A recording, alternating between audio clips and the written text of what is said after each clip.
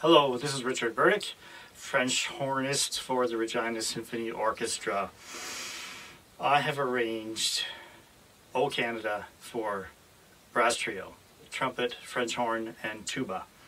In my recording program, Digital Performer, it has a plugin called Spectral Effects. Spectral Effects is amazing.